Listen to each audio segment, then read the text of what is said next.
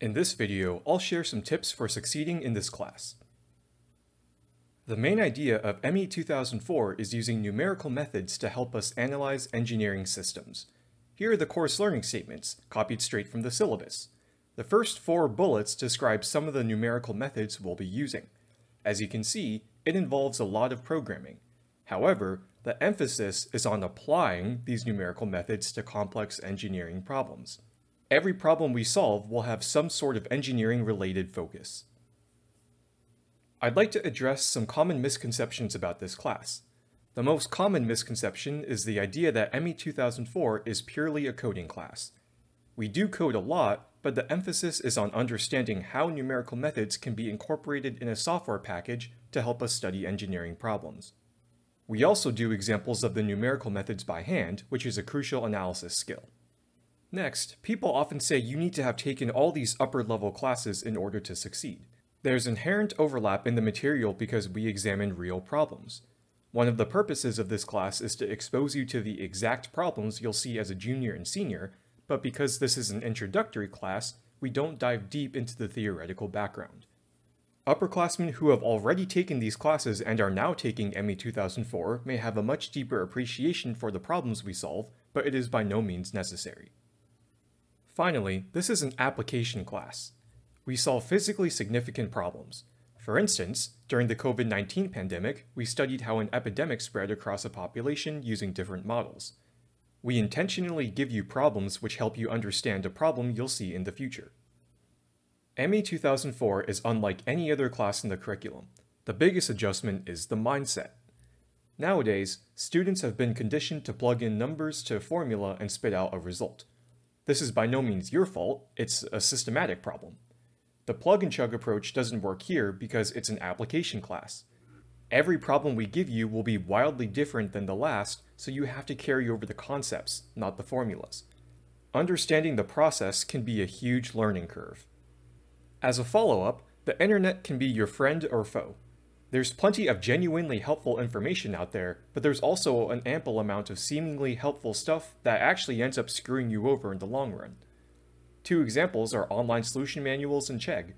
As a fellow student, I acknowledge that some turn to these resources to understand how to solve a problem. But once again, that doesn't work here because it teaches you how to solve that specific problem, but not the general idea. Because no two problems are alike, learning how to solve one problem probably won't help you on the next. Once again, it's all about understanding the process. Furthermore, some students struggle due to a poor MATLAB, linear algebra, or calculus foundation. All three are absolutely essential if you want to succeed.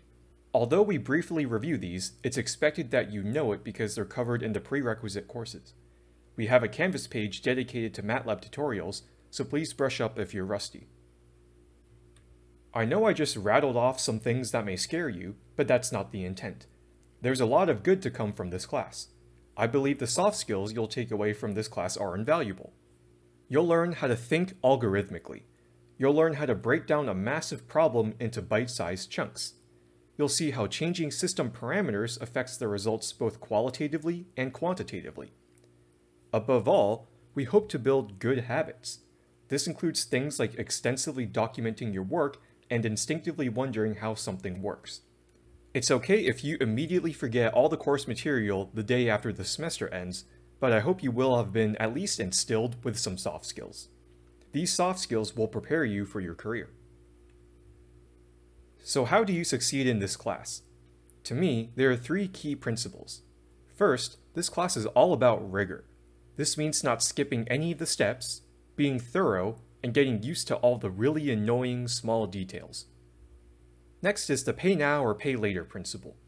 The idea is that you have to incur some cost eventually, so you might as well suffer now than later. The cartoon over here is a great example of this. Like a credit card, you can quickly rack up debt, but it'll eventually come back to haunt you. In this class, I always tell students to make a flowchart after reading the problem, but it's incredibly tempting to skip that and jump straight into MATLAB. This leads to a bunch of logic errors, and you'll spend more time debugging than if you made the flowchart first. Debugging is infuriating. You want to spend as little time debugging as possible, so take the extra few minutes at the beginning to make sure you don't spend hours trying to debug your code. Finally, this is essentially a class in delayed gratification. As previously stated, we solve problems you'll see again as an upperclassman. This is obviously good, but it means that you have to wait until you get to those classes to truly see the payoff of this class. Not being able to immediately apply your knowledge can be frustrating, but try to remember that you're in this for the long run. Every class you take builds your knowledge a little bit. Come graduation, you'll be very well equipped to succeed in the workforce. It's a long process, but try to not lose sight of the end game. Every semester, I get emails like this one saying this class finally paid off. It truly is an indescribable feeling. Whenever you're stuck in this class, remember that your hard work will eventually pay off. I'd like to give you some more specific advice.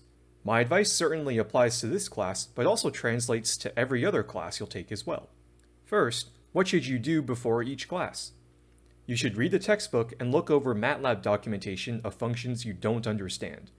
Our Canvas site constantly changes. We add the recorded lectures, supplemental materials, and more multiple times per week, so please check the site daily. It's also a good idea to review what we did in the last class so you're up to speed by the next. In doing so, you'll probably have some questions, so write them down and come prepared to ask.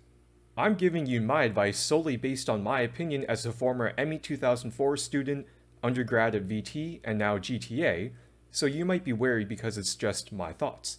But don't take my word for it. Here are some spot survey responses that we've collected over the years. We see similar responses every semester, so clearly there's some merit to this. What should you do during class? It sounds like common sense, but pay attention and take notes. It's easy to get distracted in today's era, but you might miss something important if you aren't paying attention. We record and post the lectures primarily for students living on the opposite side of the world, but some students have taken this to mean that they don't have to pay attention because they can just watch the recording later. Coming to class, not paying attention, and then having to re-watch the lecture is a waste of time. Previous students seem to agree. Some students don't know how to take notes in this class. Admittedly, it can be hard to take notes since we spend a lot of time coding. If we're coding, write comments describing what a command does. If we're reviewing theory from the textbook, you can underline or highlight specific passages. And lastly, don't be afraid to interrupt. This is a large class, so someone probably has the same question as you. It's better to stop the class momentarily to make sure everyone's on the same page than to be silent and potentially become even more confused as the lecture progresses. After class, give yourself time to process the material. This could take a day or two, but make sure you aren't procrastinating. We usually stay after class to answer questions, so if you don't feel comfortable asking during class, you can ask us afterwards when people have left. The most important piece of advice here is to practice on your own. You need to do this for two reasons. First, every problem is different, so you need to acclimate to thinking conceptually and procedurally instead of formulaically. Second, you may need the additional practice if you're unfamiliar with MATLAB. Repetition is the key to success in any class. I want to reiterate the value of fully understanding the problem before you start coding. Before you even think about opening MATLAB, you should develop some sort of flowchart, pseudocode, or a general outline of how you're going to approach the problem.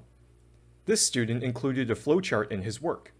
It's not technically a proper flowchart, but it's enough to understand his thought process, and it was probably enough for him to understand what he needed to do. Unsurprisingly, this student did extremely well in the class. In the midst of an assignment, go slowly. It's easy to make typos and other silly mistakes when you're typing fast. Use your flowchart to guide you through the programming. Run your code every time you write a new line. This is incredibly tedious, but you can immediately isolate a mistake. It's much harder to debug a chunk of code. As you become more familiar with MATLAB, you can wean yourself off this process a little bit, but this is highly recommended for novices. You should also keep track of variables as dimensions and units. Is something a scalar or a vector? If it's a vector, how large is it? This is critical to debugging. An all too common error is trying to multiply two incompatibly sized matrices. You can immediately understand why this error occurs if you know the size of your variables. And finally, comment liberally. It's better to have too much documentation than too little. Remember, you'll probably reuse these codes in future classes, so commenting will help you remember what the code does and what all the variables mean. If we give you code, we'll try to comment extensively so you know exactly how to use it. In this code, we explain the purpose, the syntax, the variables, including the units and the size. In this example down here, we have five lines of comments to describe just one line of code. This is not only good for us when we look at your code, but also for you in the future when you want to reuse it.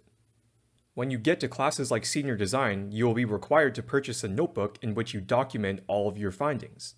You have to turn the notebook in for a grade, so you might as well get used to the documentation process early so it doesn't seem tedious come your senior year.